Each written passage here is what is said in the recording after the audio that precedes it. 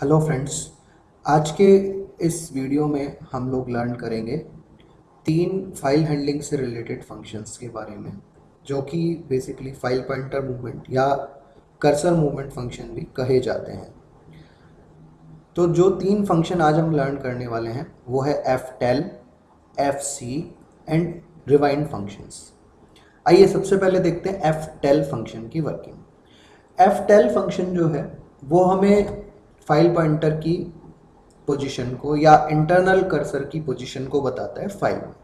इसका सिंटेक्स जो है, वो इस तरह से होता है। एफ़ टेल के एज ए आर्ग्यूमेंट हम पास करते हैं फ़ाइल पॉइंटर का नेम एंड ये हमें एक इंटीजर वैल्यू रिटर्न करके देगा, जो कि ये बताता है कि हमारी करंट कर्सर की पोजीशन क्या है। मतलब किस पोजीशन से फ़ाइल में से डेटा हमारा रीड होगा।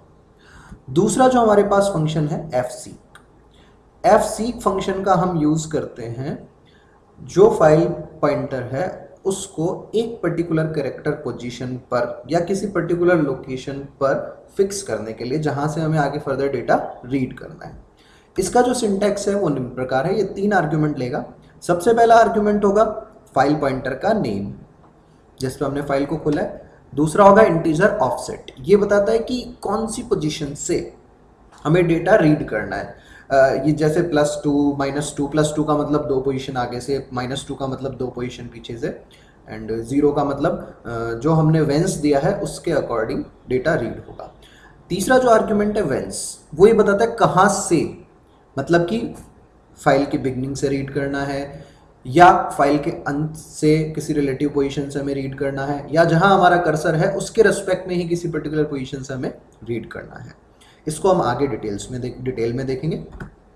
और तीसरा फ़ंक्शन है हमारे पास रिवाइंड रिवाइंड फ़ंक्शन क्या करता है? जो हमारा कर्सर है फ़ाइल में इंटरनल या जो हमारा फ़ाइल पॉइंटर है, उसको फ़ाइल की बिगनिंग पे ले आता है।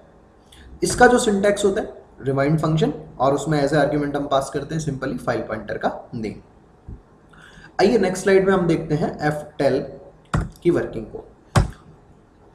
देखिए, हमने क्या किया? एक पोजीशन वेरिएबल लिया देन हमने एक फ़ाइल टाइप का पॉइंटर बनाया F P F open function की सहायता से हमने डी ड्राइव में यूट्यूब फोल्डर में YouTube data dot T XT नाम की जो फ़ाइल पड़ी है, उसको रीड मोड में ओपन करवाया है। देन हमने पोजीशन इक्वल टू कॉल किया एफ़ टेल एफ़ पी तो फ़ाइल पॉइंटर की जो पोजीशन है, वो बताएगा एफ़ टेल इनिशियली पोजीशन जो होगी वो फ़ाइल की बिगनिंग में होती है मतलब जीरोथ कैरेक्टर को डिनोट करता है जीरोथ इंडेक्स वाले कैरेक्टर को डिनोट करता है। तो पोजीशन में वैल्यू आ जाएगी हमारे पास ज़ीरो उसे हम जब प्रिंट करवाएँगे तो हमारे पास में आउटपुट में आ जाएगा initial position of file pointer is and percent D की जगह पोजीशन हमारी क्या प्रिंट हो जाएगी अभी? ज़ीरो देन हमने एक लूप चलाया आई से लेके I less equal to five and पाँच कैरेक्टर्स जो है हमने रीड कर लिए। तो जब हम पाँच कैरेक्टर रीड कर लेंगे, उसके बाद में जो हमारी इंटरनल पोजीशन है पॉइंटर की फ़ाइल पॉइंटर की या कर्सर की, वो पाँच पोजीशन आगे चली जाएगी। यानी अब इसके बाद अगर मैं दोबारा से एफ़ टेल फ़ंक्शन को कॉल करके एफ़ पी को एज आर्ग्यूमेंट पास करता हूँ तो ये हमें वैल्यू क्या देगा? फाइव जो कि पोजीशन में आकर के स्टोर हो जाएगी देन पोजीशन को हमने प्रिंट कराया है। इसको अपन पूरे एक एग्ज़ाम्पल की फॉर्म में देखते हैं। आप अगर कोड को नोट डाउन करना चाहें तो जब एडिटर विंडो में मैं अभी कोड लिखूँगा और उसे एग्जीक्यूट करूँगा, आप वहाँ से नोट कीजिएगा। तो uh, सबसे पहले हम जो है हमारी इस डी ड्राइव में पड़ी हुई जो यूट्यूब फोल्डर में YouTube data dot TXT file है उसके डेटा को हम देख लेते हैं एक बार। ये फ़ाइल है हमारे पास। ये देखिए। एक बार फुल स्क्रीन करके दिखा देता हूँ मैं आपको। ये हमारी यूट्यूब डेटा डॉट टीएक्सटी नाम की फ़ाइल है। And my name is Tarun Verma I live in Bikaner. ये हमने इसमें डेटा स्टोर कर रखा है। अब हम हमारे प्रोग्राम को देखते हैं। ये हमारा प्रोग्राम है, जिसमें देखिए हमने पोजीशन वेरिएबल बनाया आई वेरिएबल बनाया कैरेक्टर सी एच वेरिएबल लिया, जिसमें हम डेटा रीड करेंगे। फ़ाइल पॉइंटर बना दिया हमने एफ़ पी उसमें हमने फ़ाइल ओपन करवा दी डी ड्राइव में यूट्यूब फोल्डर में YouTube data dot T X T देखिए डबल स्लैश नोटिस कीजिएगा, क्योंकि बैक स्लैश हम यूज़ कर रहे हैं, और हमें पता है स्ट्रिंग में सिंगल बैक स्लैश काम नहीं करेगा तो डबल बैक स्लैश हमने लगाया। फ़ाइल को कौन से मोड में ओपन किया हमने? आर मोड में। इनिशियली हमने पोजिशन देखी तो इसकी पोजिशन हमारे पास जो आएगी वो आएगी ज़ीरो एंड उस पोजीशन को हमने प्रिंट करा दिया। Initial position of file pointer is percent D then हमने पाँच कैरेक्टर रीड किए, उन्हें स्क्रीन पे प्रिंट करा दिया। उसके बाद फिर से हमने पोजीशन जो है, वो रीड करी एफ़ से। मैसेज प्रिंट कराया after reading five characters and position of file pointer is percent D तो ये फ़ाइल पॉइंटर की पोजिशन क्या प्रिंट कर देगा? फाइव से एग्जीक्यूट करके देखते हैं। ये देखिए, ये हमारा output initial position of file pointer is zero then पाँच कैरेक्टर हमने रीड किए थे तो एक, दो, तीसरा स्पेस चौथा एन पांचवा, ये पाँच कैरेक्टर रीड हुए लूप खत्म हुआ। उसके बाद फिर से हमने एफ़ टेल का यूज़ करके पोजीशन निकाली थी।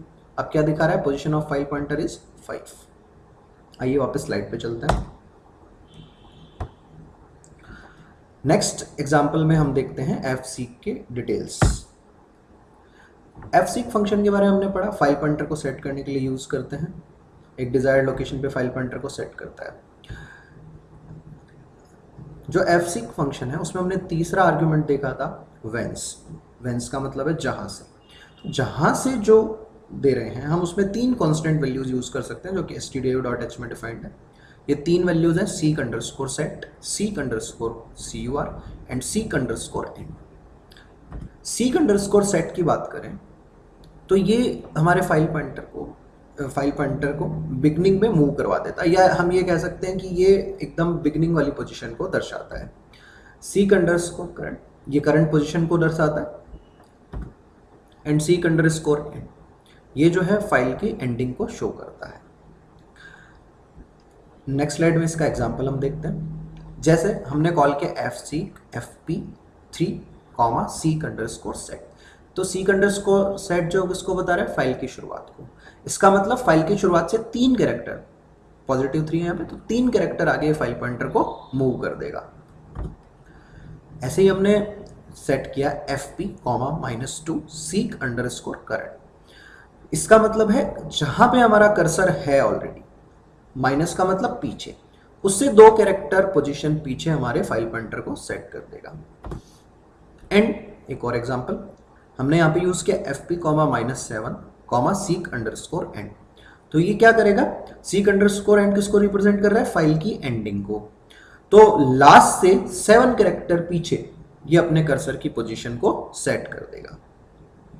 इसको आइए हम एक एग्जांपल में देखते हैं.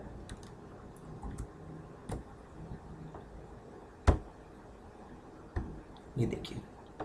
यहाँ पे देखिए हमने कैरेक्टर टाइप का एक एरे बनाया S T R ten F पर हमने फ़ाइल ओपन करवाई। यूट्यूब फोल्डर में जो पड़ी है YouTube data dot T X T read mode रखा हमने रीडिंग के लिए। इनिशियली हमने क्या करा? एफ़ सीक का यूज़ किया। F P comma three comma seek underscore set इसका मतलब है फ़ाइल पॉइंटर जो है, वो तीन कैरेक्टर शुरुआत से आगे चला जाएगा। अब देखिए, अगर शुरुआत में होता तो हमारा फ़ाइल पॉइंटर किसको डिनोट कर रहा होता? एम को। लेकिन हमने तीन पोजीशन आगे कर दिया है। तो कितना आगे खिसक गया ये? एम वाई और स्पेस यानी अपना जो अब जो अपना कर्सर है वो किसको डिनोट कर रहा है? या हमारा जो पॉइंटर है वो किसको डिनोट कर रहा है? फ़ाइल पॉइंटर एन को। देन हमने क्या करा? गेट्स फ़ंक्शन का यूज़ करके एस जो हमने एरे बनाया था, उसमें पाँच कैरेक्टर रीड करवा दिए फ़ाइल से। तो ये क्या रीड करेगा? N A M E and space ये पाँचों वैल्यूज़ किसमें स्टोर हो जाएगी? एस में। हमने उसको प्रिंट करा दिया। After seek underscore set to third position data read is percentage तो नेम एंड स्पेस प्रिंट कर देगा ये। उसके बाद में हमने फिर से क्या किया? F seek F P comma minus two seek underscore current अभी देखिए फ़ाइल पॉइंटर हमारा कहाँ पे मूव होकर के चला गया था? इस स्पेस पे। पाँच कैरेक्टर रीड करने के बाद। अब हमने वापस से माइनस टू कर दिया। तो ये कहाँ पे आ जाएगा अपना? एम पे। ठीक देन हमने एम से आगे टोटल कितने कैरेक्टर रीड कर लिए यहाँ पे? ट्वेल्व तो क्या रीड करेगा ये? M E space I S space T A R U and N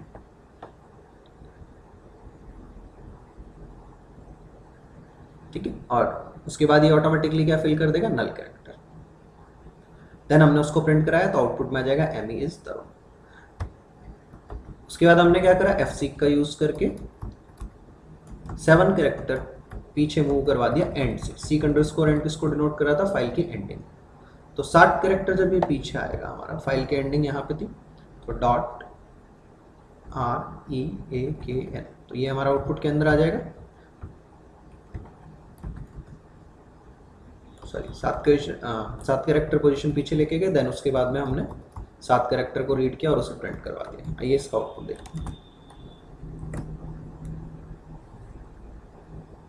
ठीक है, सात पोजीशन पीछे लेकर के आया था तो dot R E N A K I ये सात करेक्टर हो गए टोटल हमारे पास में। और डॉट जो था वो नल से रिप्लेस हो गया। तो हमारे पास क्या आउटपुट में I K A N E R वापस स्लाइड पे चलते हैं हम।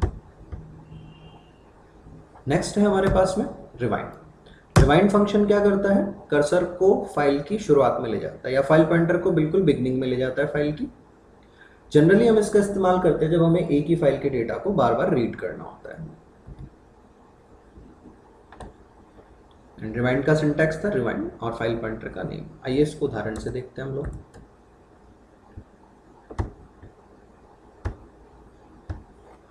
यहाँ देखिएगा, हमने मेन फ़ंक्शन बनाया कैरेक्टर सी एक वेरिएबल बनाया फ़ाइल पॉइंटर उस पर हमने डी ड्राइव में यूट्यूब फोल्डर में YouTube data dot T file को रीड मोड में ओपन करा दिया। देन हमने लूप चलाया। C equal to F get C F P not equal not equal to end of file U F denote करता है end of file यानी file की एंडिंग तो ये क्या करेगा? एक एक करेक्टर रीड करता रहेगा लूप के अंदर से हमने उस करेक्टर को प्रिंट करा दिया जब फ़ाइल के अंत में ये पहुँच जाएगा तो ये लूप हमारा टर्मिनेट हो जाएगा। तो फ़ाइल में जो डेटा पड़ा है, वो सारा डेटा हमारा स्क्रीन पे डिस्प्ले हो जाएगा। जैसे ही लूप करा, खत्म हुआ, हमने रिवाइंड कर दिया एफ़ को। तो रिवाइंड फ़ंक्शन क्या करेगा? एफ़ जो पॉइंटर है हमारा, उसको वापस से फ़ाइल की बिगनिंग में ले जाएगा। देन हमने फिर से लूप चलाया। जो कि फ़ाइल पॉइंटर जो था वो कहाँ पहुँच गया था? फ़ाइल के बिगनिंग में। तो इसका मतलब ये जो सेकंड टाइम हम लूप चला रहे हैं, ये फिर से डेटा रीड करेगा और उस डेटा को हमने स्क्रीन पे प्रिंट कराया है। लास्ट में हमने फ़ाइल पॉइंटर को फ़ाइल पॉइंटर को क्लोज करते हुए फ़ाइल जो खुली थी उसे बंद कर दिया है। आइए इसे एग्जीक्यूट करके देखते हैं।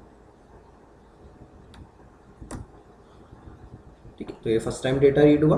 देन हमने रिवाइंड का यूज़ करके वापस फ़ाइल पॉइंटर को बिगनिंग में भेज दिया था। तो दोबारा से हमारा डेटा रीड होकर के आ रहा है फ़ाइल से अगर आपको कोई भी डाउट हो, कोई भी क्वेरी हो तो आप मुझे व्हाट्सअप कर सकते हैं। मेरा व्हाट्सअप नंबर है double seven four two eight one double seven double seven thank you